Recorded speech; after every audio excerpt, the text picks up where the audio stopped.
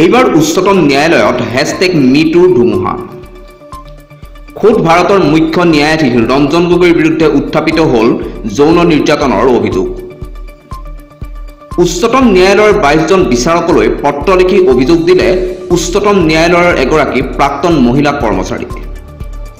বিগত বৰ্ষৰ দহ আৰু এঘাৰ অক্টোবৰত ৰঞ্জন গগৈৰ বাসভৱনৰ কাৰ্যালয়ত মহিলা কৰ্মচাৰীগৰাকীক শাৰীৰিকভাৱে নিৰ্যাতন চলোৱাৰ অভিযোগ উঠিছে ৰঞ্জন গগৈৰ বিৰুদ্ধে।